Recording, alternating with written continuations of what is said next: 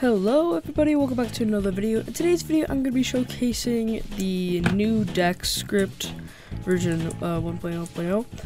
Uh, basically, it's the only uh, required script Dex that I could actually find that works really, really well.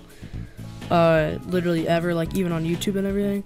So yeah, here it is. So basically, I'm just going to run the script now. The script will be in the description.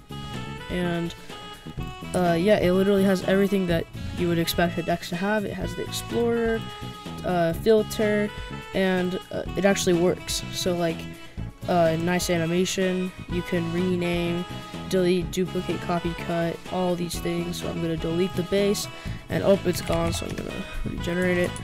Uh, but yeah, it's a really cool Dex. Sadly, script viewer is broken. I don't know why but other than that, it's a really good Dex, and I is the only Dex I could actually find that is 100% working.